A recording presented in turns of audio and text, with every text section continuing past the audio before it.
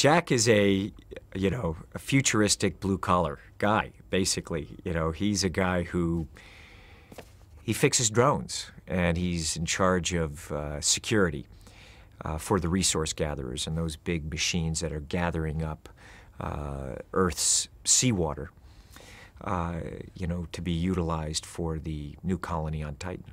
And that's his job. Every day he goes down to Earth and Vika stays in the Sky Tower. And he essentially is just fixing the drones and trying to not get killed by the scavs, you know, the aliens in the film. He feels such a pull to the earth, to home, that this is his home. I think that theme, in the, it's a big theme in the film, what is your home? And, and this is his home, and he is questioning whether he wants to leave or not. But all the resources are going, and Vika can't wait to go to Titan. You know, that she has done the five year tour of duty and she is ready to move on.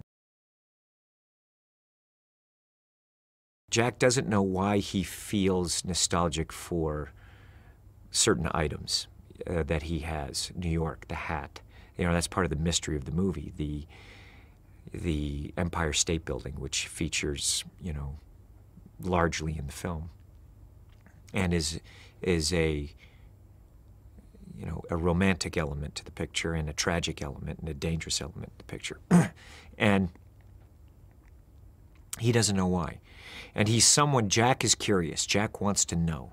He wants to understand things, and he's he's not. Uh, he doesn't he's not satisfied with not knowing the answer to something you know he's a guy who fixes things and he understands how the drones work and he understands how the you know how things work so he is very curious about why.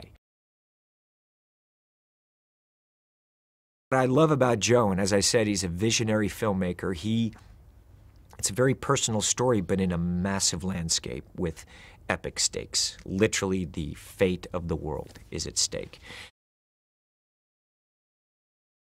All of a sudden this woman arrives and she's obviously a mysterious woman. She's a human.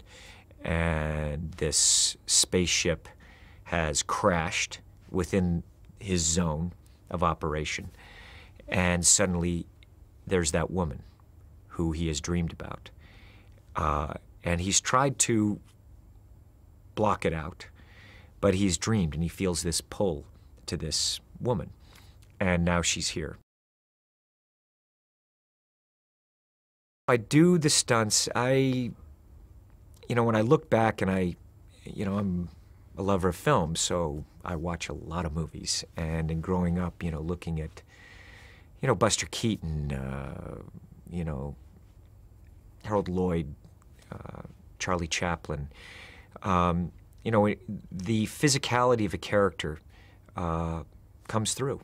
And that you can put the camera in places where you may not necessarily be able to put it there uh, if I don't do the stunt.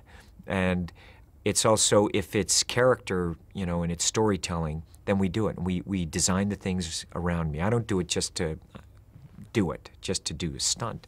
It's, it's storytelling for me, and it's how, how can I best bring the audience into the action, bring the audience into the story, and that's, that's how we always look at it.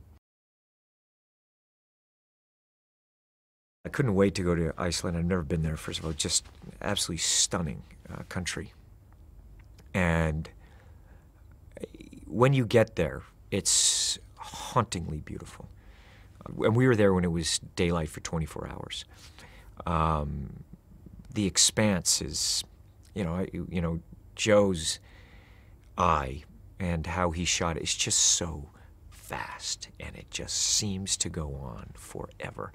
And to, you know, as the film takes place 60 years from now, to, that to be, you know, the East Coast uh, is, it, it was really, it's just hauntingly beautiful. It's extraordinary.